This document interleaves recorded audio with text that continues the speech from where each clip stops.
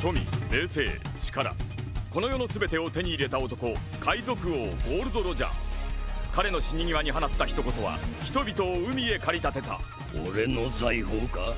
欲しけりゃくれてやる。探せ。この世の全てをそこに置いてきた。男たちはグランドラインを目指し夢を追い続ける。世はまさに大海賊時代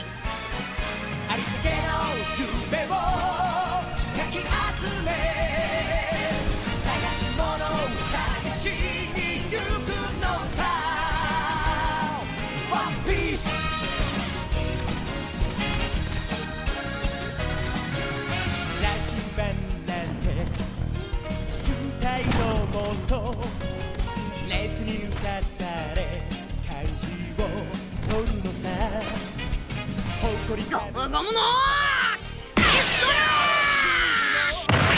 確かめたのなら伝説じゃ海賊王に俺はなら的な嵐は誰かのバイオリズム